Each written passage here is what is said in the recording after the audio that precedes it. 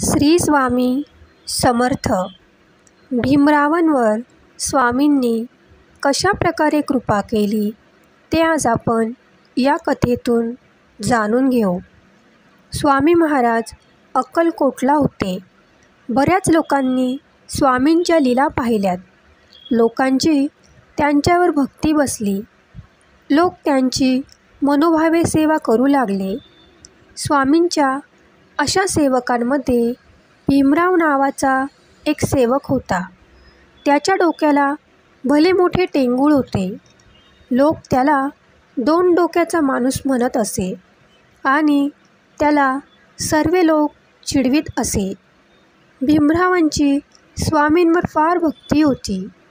भीमराव दररोज बागेत जाई टोपली भरून फुले गोळा करीत असे आणि ती स्वामींच्या चरणी अर्पण करी. एकदा भीमराव फुले घेऊन स्वामींच्या दर्शनाला गेले.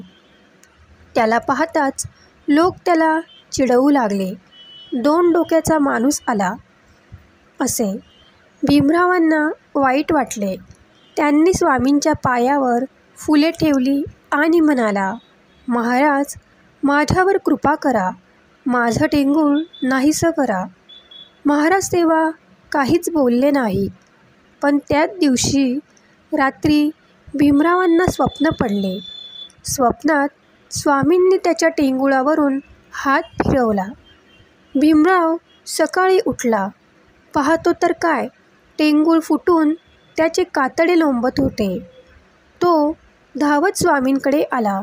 स्वामींच्या चरणी लागला. स्वामींनी त्याला अंगारा दिला. तो भीमरावाने कातड्यावर लावला. काही दिवसांनी कातडे सुकले टेंगूळ पूर्णपणे नाहीसे झाले.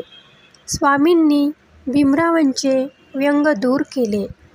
अशा प्रकारे भीमरावांवर स्वामींनी कृपा केली आणि भीमरावांचा स्वामींवर असलेला विश्वास अजूनच प्रबळ झाला. श्री स्वामी समर्थ.